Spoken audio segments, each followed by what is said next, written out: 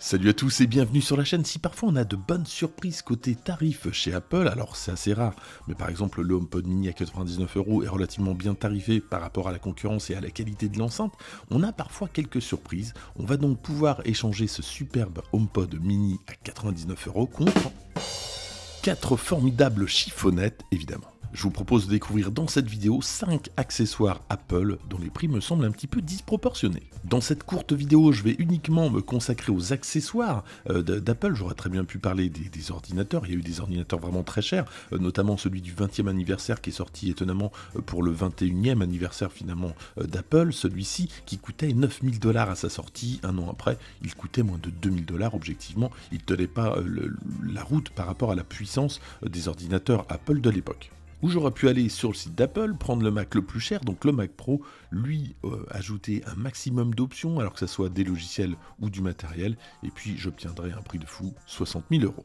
Et on commence tout de suite en cinquième position par les coques, alors que ce soit des coques pour iPhone ou pour iPad, euh, celle-ci est transparente, ok, compatible MagSafe, pourquoi pas, mais 65 euros pour une coque comme celle-ci, franchement, euh, ça me semble un petit peu cher, ça coûte une quinzaine d'euros chez la concurrence. Je vous en parle assez régulièrement lorsque je vous présente des coques, j'achetais des coques de la marque Apple il y a quelques temps, que ce soit des silicones, des cuirs.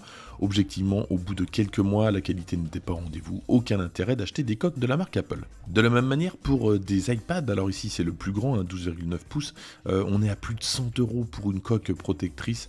Franchement, ça vaut une vingtaine d'euros chez la concurrence. En numéro 4, les accessoires connectiques, alors notamment en USB-C.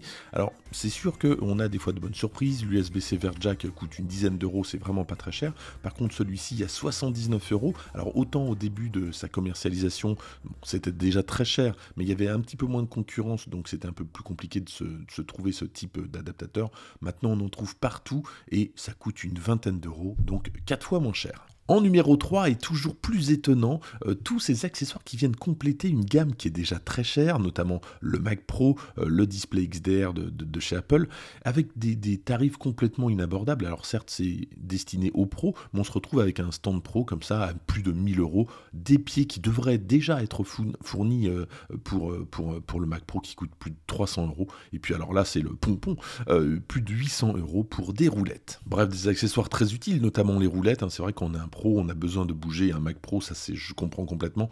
Maintenant, pourquoi c'est pas euh, par défaut sur cet ordinateur qui coûte déjà très cher?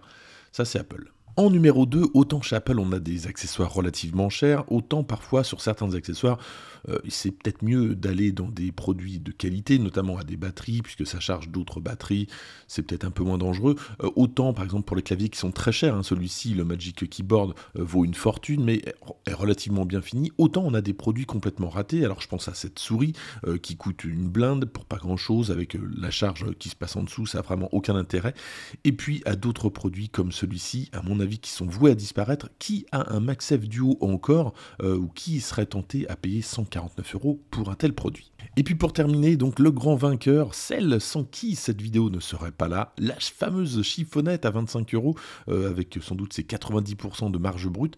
N'hésitez pas à me dire dans les commentaires si vous avez acheté une chiffonnette et si oui, pourquoi une chiffonnette à 25 euros.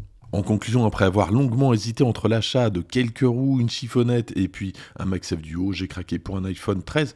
Finalement, ça fait relativiser le prix de l'iPhone. Dans les commentaires, n'hésitez surtout pas à me dire ce que vous pensez des prix des accessoires d'Apple. En attendant, n'hésitez pas à liker cette vidéo, à la partager, à vous abonner. Et moi, je vous dis à très bientôt.